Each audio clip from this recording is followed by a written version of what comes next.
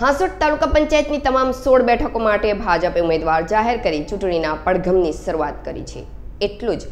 પીઢ રાજકીય આગેવાન વિજયસિંહ પટેલની નારાજગી વચ્ચે ચૂંટણી તાલુકા પંચાયતના સોળ અને જિલ્લા પંચાયતના બે ઉમેદવારો જાહેર કરી નવા ચહેરાને તક આપી છે. સ્થાનિક સ્વરાજ્યની ચૂંટણીઓની મતદાન તારીખ નજીક આવી રહી છે ત્યારે રાજકીય પક્ષો ઉમેદવારોના નામ જાહેર કરવા લાગ્યા છે.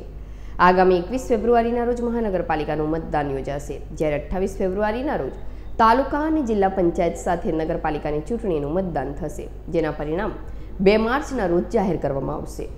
હાલ ઉમેદવારી ફોર્મ વિતરણ કરી તેને વિગતવાર કરવાની પ્રક્રિયા ચાલી રહી છે. ફોર્મ ભરવાની અંતિમ તારીખ તેર ફેબ્રુઆરી છે. અંતિમ તારીખ નજીક આવતા ભાજપે પોતાના તમામ સોળ ઉમેદવારોના નામ જાહેર કર્યા છે અને નવા ચહેરાનો સમાવેશ સાથે જૂના જોગીઓને પણ તક આપી છે. એક તરફ સહકાર મંત્રીના ભયની નારાજગી અને બીજી તરફ ચૂંટણી વચ્ચે હાંસુટના રાજકીય વાતાવરણ ગરમાયું છે.